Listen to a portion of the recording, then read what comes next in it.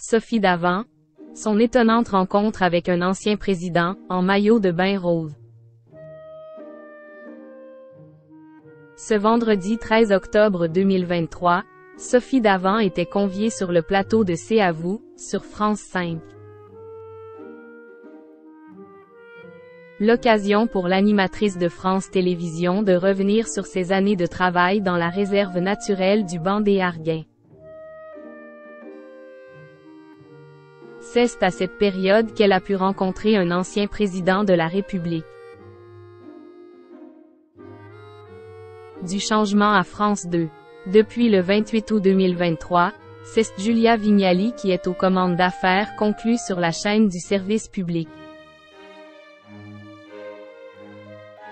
Après six ans de bons et loyaux services, Sophie Davant a cédé les rênes de l'émission de vente aux enchères. À la place, elle s'envole vers d'autres aventures médiatiques à la radio. En effet, depuis la rentrée septembre 2023, les Français peuvent l'entendre tous les jours sur Europe 1, dans l'émission Sophie les copains avec sa bande de chroniqueurs. Un retour aux sources important pour l'animatrice de 60 ans. Une décision qu'elle ne regrette pas, mais un choix qui lui a demandé un certain temps de réflexion. C'est vrai que j'ai pris une décision difficile, après avoir présenté pendant six ans Affaires conclues, avait-elle confié à Télé 7 jours.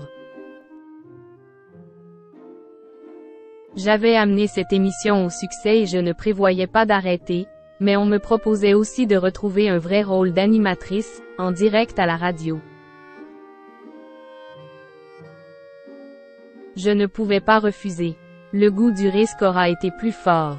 La case horaire est difficile, mais j'espère bien inverser la tendance et grappler des auditeurs, a-t-elle conclu. Une rencontre marquante. Ce vendredi 13 octobre 2023, Sophie Davant était conviée sur le plateau de C'est à vous, le talk show des Anne-Elisabeth Lemoine sur France 5. Amoureuse des bêtes, l'animatrice s'est confiée sur ses années de travail en tant que garde dans la réserve naturelle du banc d'Arguin. Un espace qui a été créé par son père, ornithologue, professeur en biologie et chercheur à l'Institut de biologie marine d'Arcachon. Lors ce job DE accent aigu TE accent aigu, elle a pu apprendre la nature, mais aussi rencontré plusieurs personnalités, dont un ancien président de la République. En effet, Sophie Davant s'est retrouvée nez à nez avec un ancien locataire de l'Élysée, et pas des moindres. Il y avait une exposition de photos au sein de la cabane et un jour, je vois arriver, en septembre 1981, un monsieur avec un maillot de bain rose qui me dit « Bonjour mademoiselle ».